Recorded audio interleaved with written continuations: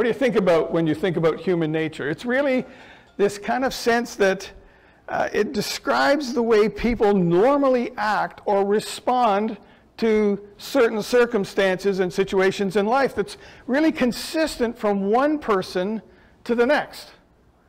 You know, we, we get this sense of if something's going on, something's happening, we expect that we know how people will respond. It's human nature. And, uh, and, and we're shocked, really, when people respond in a way that we don't expect when it doesn't seem to fit what we think is human nature. Like, what's going on? And, and that's really uh, something that's, you know, gone on. Um, this, this sense of human nature and our expectations about how people respond. And, and really, if we even go back to uh, Adam in the garden and how he responded to God when they had eaten from the fruit of the tree that they weren't supposed to, we see how human nature unfolds, don't we? What did they do? They sewed fig leaves together to hide their nakedness. They hid in the garden when they heard God moving through the garden. When God called out to them, Where are you? Adam comes out of hiding and admits that he was hiding out of fear because he had done the wrong thing. And when God confronts Adam about his behavior, his response is to deflect the responsibility from himself to the woman you put here with me. She gave me some fruit from the tree and I ate it. It, it, it wasn't me, it was the woman. That doesn't really work very well even today, let's face it. And when God confronts Eve, she responds the exact same way, deflecting responsibility from her own behavior to the serpent, right?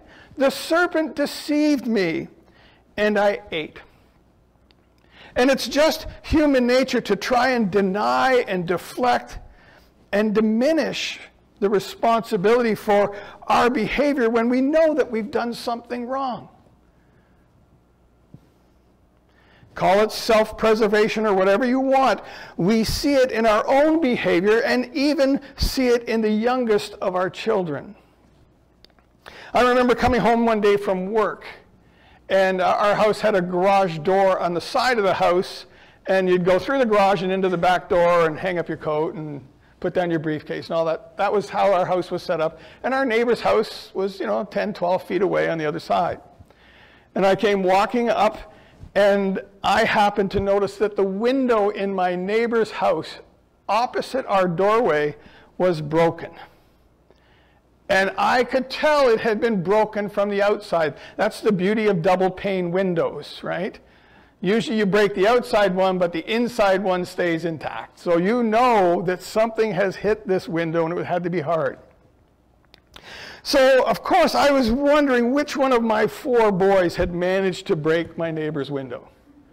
First thought went through my mind. And when I got inside, I began to explore this with my boys, and you can probably visualize the reaction I got. Four blank faces. Four verbal denials of, I have no idea what happened. I knew the truth was hidden somewhere behind one or more of those angelic faces that were looking at me. And I never got to the bottom of it. Until one day, my one son at the age of about 35 felt it was safe to confess. It was him that tried to hit the golf ball while he was between the houses and not out in the backyard and had shanked it into our neighbor's window. That's just human nature, isn't it? We deny, we deflect, and diminish our responsibility for our actions when we're confronted with the truth. But when we're falsely accused, our response is even more vehement, and we will even call for witnesses to confirm our innocence. Your kids just don't stand there going, I have no idea. You get the, no, it wasn't me. It might have been him. It might have been, you know, the neighbor ran through the yard and broke. Like, you'll get all kinds. But when you're falsely accused, you're going to defend yourself.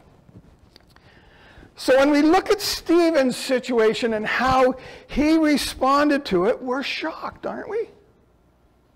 Here's an innocent man. Here's a man who's humble enough to serve the needs of widows in the community, but also a powerful spokesperson for the Spirit of God who'd performed apostolic types of signs and wonders that it told us in Scripture. We definitely view him as the humble servant leader, like the one he follows, Jesus. I mean, his accusers are fellow Hellenistic Aramaic speaking Jews that share a similar language and culture. These were not cultural enemies who were speaking out against an outsider, but they were frustrated, it tells us, with their own inability to challenge the wisdom with which Stephen was speaking in the temple. So they had found people that would lie and bring false testimony against him witnesses that would speak out against the character and what he was saying. So we would think that Stephen's immediate response would be to defend himself, to just say no, to maybe bring witnesses against the false witnesses.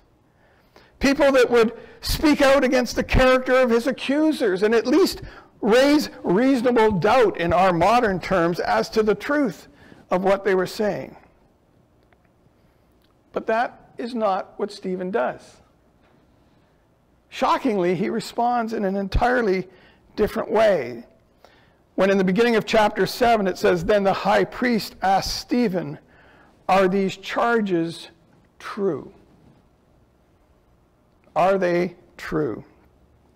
And I'll ask you to bring up the scripture reading so we can read through his response.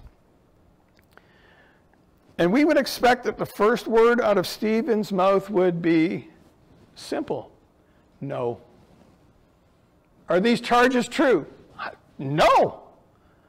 And he might vehemently say so. But he responds in a completely unexpected manner. He says this Brothers and fathers, listen to me. Brothers and fathers, listen to me. The God of glory appeared to our father Abraham while he was still in Mesopotamia, before he lived in Haran. Leave your country and your people, God said, and go to the land I will show you. So he left the land of the Chaldeans and settled in Haran. And after the death of his father, God sent him to this land where you are now living. He gave him no inheritance here, not even enough ground to set his foot on. But God promised him that he and his descendants after him would possess the land, even though at that time Abraham had no child. God spoke to him in this way For 400 years, your descendants will be strangers in a country not their own, and they will be enslaved and mistreated. But I will punish the nation they serve as slaves. God said, and afterward they will come out of that country and worship me in this place. Then he gave Abraham the covenant of circumcision. And Abraham became the father of Isaac and circumcised him eight days after his birth. And later, Isaac became the father of Jacob, and Jacob became the father of the 12 patriarchs. Because the patriarchs were jealous of Joseph, they sold him as a slave into Egypt. But God was with him and rescued him from all his troubles. He gave Joseph wisdom and enabled him to gain the goodwill of Pharaoh, king of Egypt. So Pharaoh made him ruler over Egypt and all his palace. Then a famine struck all Egypt and Canaan, bringing great suffering, and our ancestors could not find food. When Jacob heard that there was grain in Egypt, he sent our forefathers on their first visit. On their second visit, Joseph told his brothers who he was, and Pharaoh learned about Joseph's family. After this, Joseph went for his father Jacob and his whole family, 75 in all. Then Jacob went down to Egypt, where he and our ancestors died. It doesn't say they lived there, that's where they died. And their bodies were brought back to Shechem and placed in the tomb that Abraham had bought from the sons of Hamor at Shechem for a certain sum of money. Interesting that the promise to Abraham, the only piece of land he ever owned and possessed, was a tomb. As the time drew near for God to fulfill his promise to Abraham, the number of our people in Egypt had greatly increased. Then a new king, to whom Joseph meant nothing, came to power in Egypt. Stephen begins his defense, if we want to call it that, by talking to his brothers and fathers, addressing them very respectfully. And so often in our courts or in any human conflict, the nature of the relationship between the accused and the accusers is adversarial. If you've been to court, you would know that. It's adversarial. If you watch any court dramas or films, you see that. It's adversarial. People tend to look at the other person as being different than us. And this happens at a personal level as well as at a, a global level between nations. We can't see the other person as being like us as being part of our tribe, so to speak. And Stephen, addressing the Sanhedrin as brothers and fathers, breaks down this barrier and establishes the fact that they are on equal footing. They are part of the same tribe. They share the same history. They share the same family tree, so to speak. He further strengthens this bond when he begins by referring to Abraham as our father. Not your father, but our father, Abraham. And I expect that Stephen was trying to break down any barriers that might prevent the members of the Sanhedrin from hearing what he was about to say to them. Because what he goes on to say is not really any type of personal defense, like we would expect, but it's a systematic retelling of Israel's history and how God has worked through that history, and ultimately how they failed to truly follow God. So, over the course of the next few weeks, we'll, we'll see that Stephen addresses the three areas that form the foundation of Israel's faith and religious practices. Today, we look and he's talking, first of all, about the promise, the promised land that they lived on. The second piece is the law that was given to Moses. And finally, the temple that was built by Solomon to be the home of God in their midst. Now, Luke records all of Stephen's defense, and it's the, the longest message recorded in the book of Acts. It's longer than any of Peter's sermons or Paul's sermons or anyone else's sermons. This is the longest message that's recorded. So there must have been something important in this for Luke to capture it all for us to have recorded and to hear today. But when you read through this, it's, it's more like a, if you're old enough, you'll remember something called Coles Notes, right? Coles Notes were the, the high school student's best friend when I was growing up. Because you could either read all of a book by Shakespeare, or you could read the Coles Notes. And usually the Coles Notes were enough to get you through the course and pass the grade or help you write a paper. And so what we're seeing here is this kind of Coles Notes version of the story of Israel and God working with them. And they're very well known stories, even for us, where people could fill in the blanks of what God had done and how he had acted. So let's start with Abraham.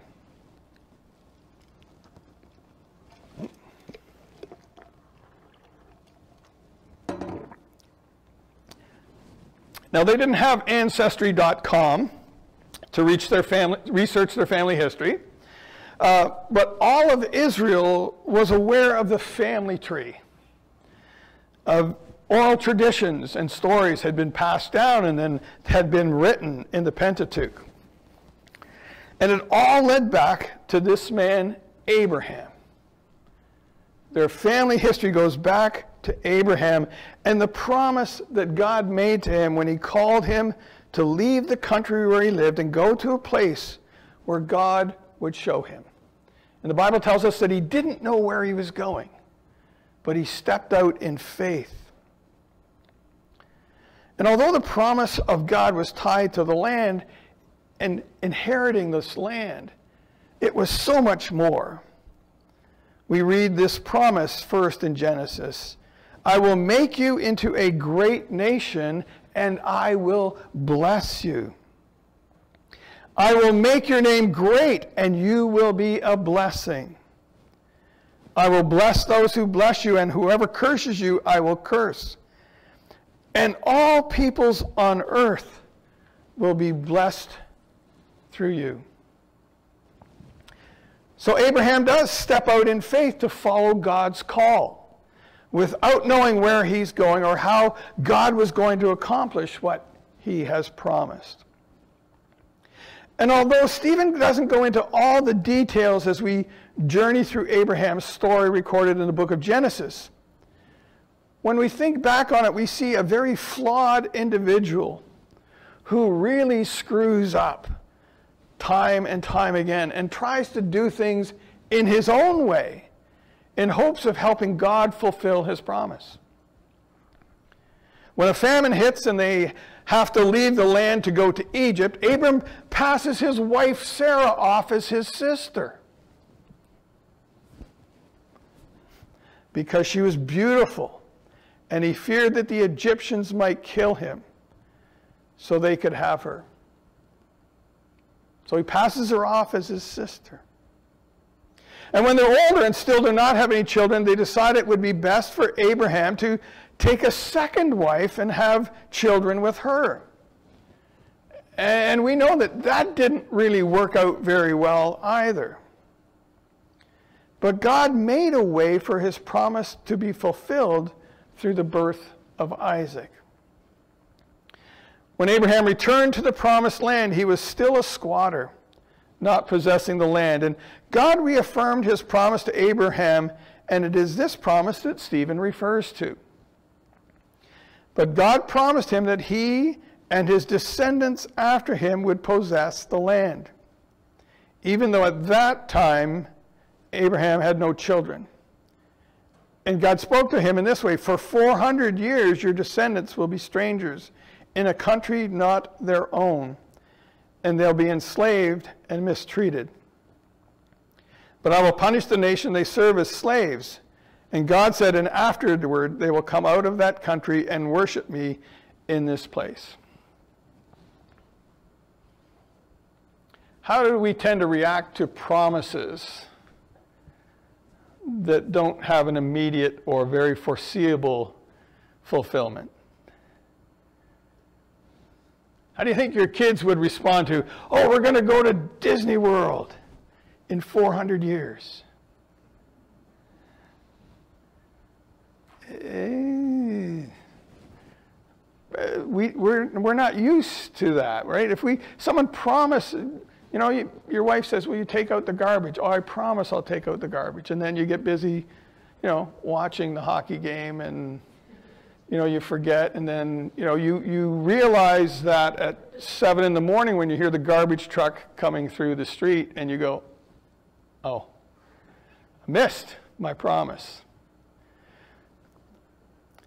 How do you think Abraham felt going, Lord, you promised something, but I'm not going to see it?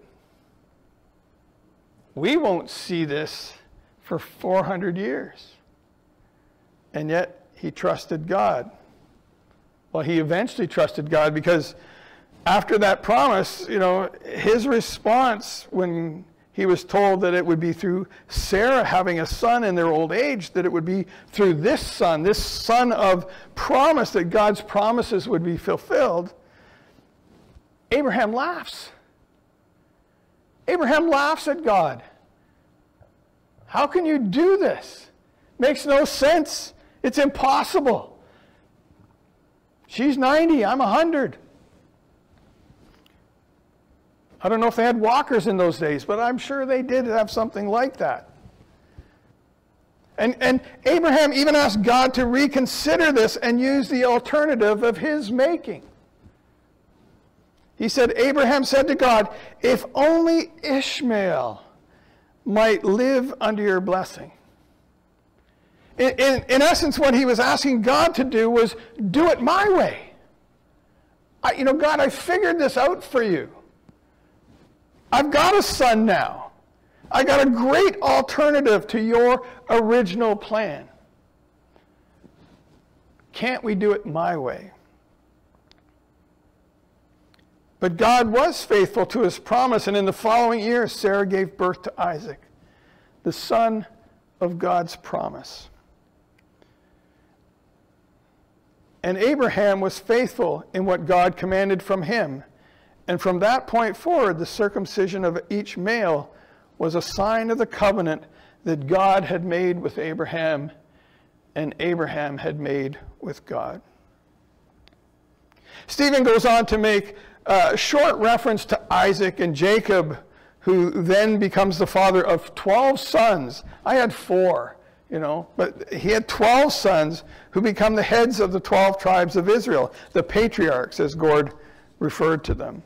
And while there's all kinds of twists and turns to the story of Isaac and Jacob, God continues to work out his plan for redemption through them and despite them.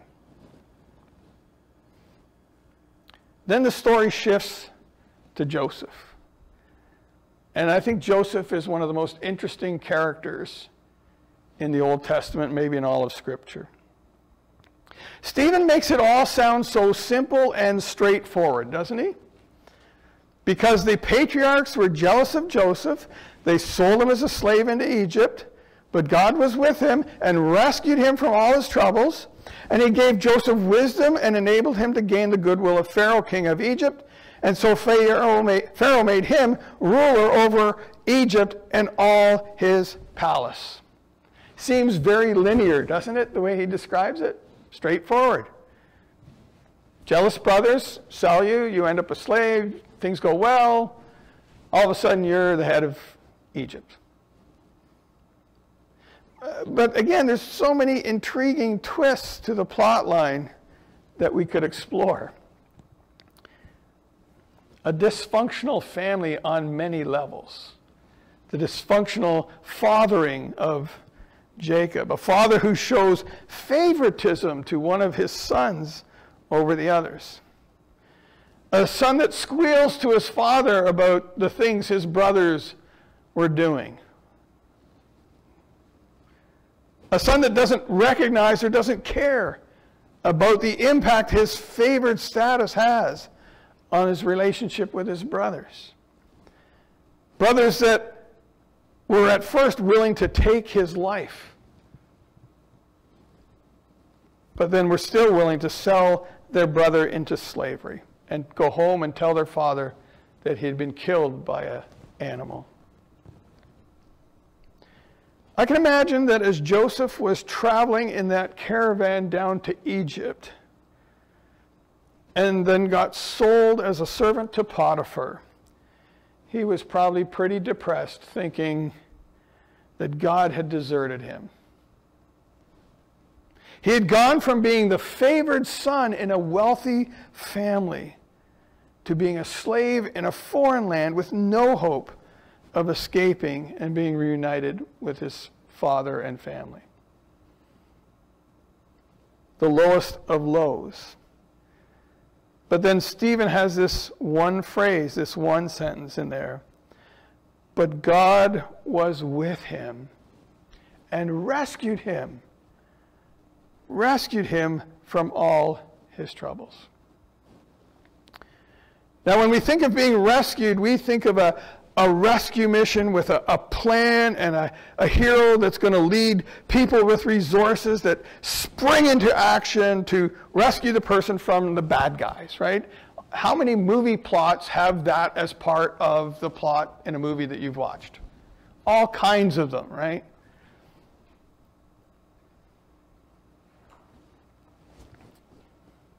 So when we think of Joseph's rescue, and the way it's described, you think, oh, this is, again, pretty linear, pretty quick. But it's not just his rescue from his initial troubles with his brother and being into slavery, but throughout the story, there's all kinds of additional troubles that poor Joseph faces Uh, his rescue from all his troubles included additional troubles once he was in Egypt, as if he hadn't suffered enough. And every time it seemed as he was getting ahead, something else would happen to him and draw him back. He worked so well as Potiphar's servant that he was ultimately put in charge of his whole household, a position of trust. But Potiphar's wife destroys that trust and he ends up in prison. But then in prison, the warden ends up putting him in charge of all the other inmates.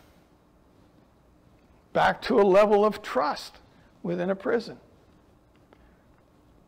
Then he interprets a dream for the cupbearer to the king, but the cupbearer forgot about him when he got reinstated to Pharaoh's court. Couple of years goes by, and finally he gets the opportunity to interpret a dream for Pharaoh and warns him about seven years of famine that will follow seven years of plenty. And he recommends a plan to him to collect a portion of the harvest from the years of plenty so there will be grain and food to keep people through the famine. And Pharaoh puts Joseph in charge of implementing this plan, recognizing and these are Pharaoh's words. Since God has made all this known to you, there is no one so discerning and wise as you. You shall be in charge of my palace, and all my people are to submit to your orders. Only with respect to the throne will I be greater than you. Excuse me. From the outhouse to the penthouse, with lots of ups and downs in between, and all by the age of 30. I, I just blows my mind to think that at 30, so much could have happened in this young man's life. God's rescuing of Joseph from all his troubles taken years and has been a journey from the lowest depths of being falsely accused and imprisoned to the highest position in the nation of Egypt. And it is at least seven years later when the pieces of God's plan to fulfill his problem, promise to Abraham takes its next step in arranging the reuniting of Joseph with his father and brothers. This part of the story is that then a famine struck all Egypt and Canaan, bringing great suffering, and our ancestors could not find food. And when Jacob heard that there was grain in Egypt, he sent our forefathers on their first visit. And on their second visit, Joseph told his brothers who he was. And then Pharaoh learned about Joseph's family. And after this, Joseph sent for his father Jacob and the whole family, 75 in all. And then Jacob went down to Egypt, where he and our ancestors died. The, the story of Joseph's interaction with his brothers is one of the most intriguing stories in the Bible that describes how God is at work in ways that we may find difficult to see. But Joseph was given the wisdom to see. In speaking to his brothers, he communicates to this, this to them very clearly. He said, I am your brother Joseph, the one you sold into Egypt. What a surprise that must have been for them, right? We, we thought he was gone. I'm your brother, the one you sold into Egypt. And now do not be distressed and do not be angry with yourselves for selling me here, because it was to save lives that God sent me ahead of you. It was to save lives that God sent me ahead of you. So then it was not you who sent me here, but God. Now it was the brothers that put him in a cistern, took his nice coat, and sold him to the caravan to take to Egypt. That didn't change the history of it. So then it was not you who sent me here, but God. And even after Jacob dies, and the brothers are thinking, oh, he's just been nice to us now because his father's around, and they get really kind of worried they make up some story of what Jacob had said before he died about how he should treat them well still. His response to his brothers, You intended to harm me, but God intended it for good to accomplish what is now being done, the saving of many lives. So everything has come together for God's promise to Abraham to make a great nation out of his descendants. From 75 people of Jacob's family that went down to Egypt because of the famine, the pieces were in place for them to prosper and multiply into a nation of people. 400 years is mostly summarized by this one phrase As the time drew near for God to fulfill his promise to Abraham, the number of our people in Egypt had greatly increased. It would take 400 years. And we would have hoped that things would go smoothly for Stephen,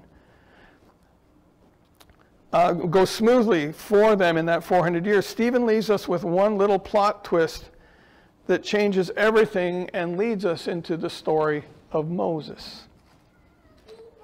Then a new king to whom Joseph meant nothing came to power.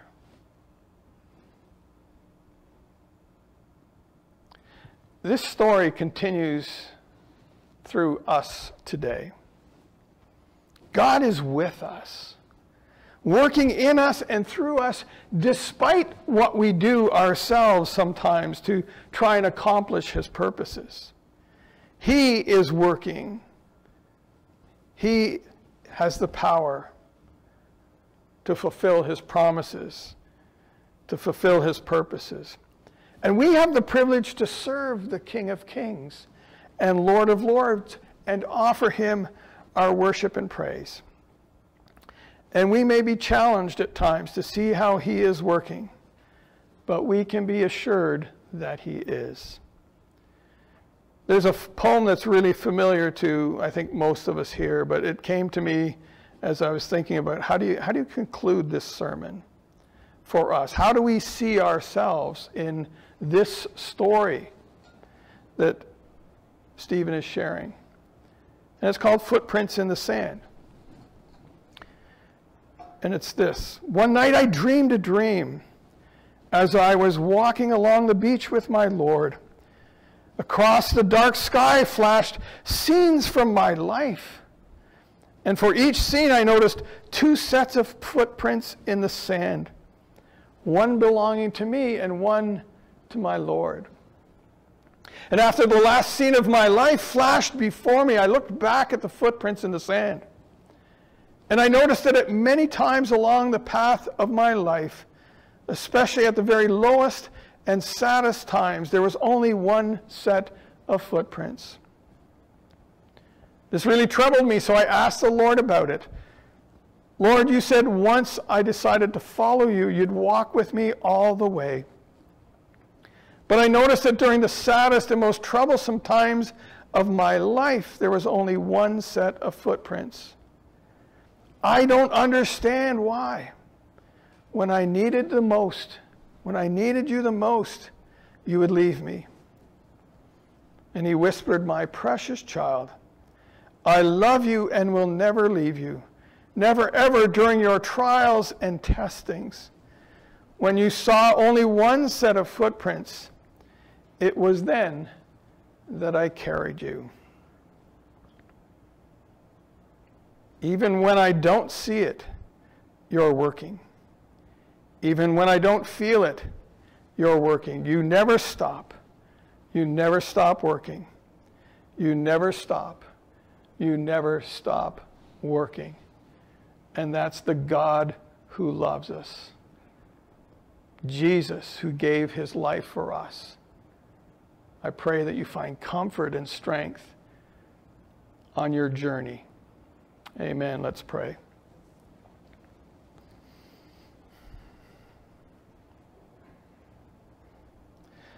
Father, as we look back and consider the story of how you promised Abraham to make a great nation, promised him a land, promised to bless every nation, every people through him.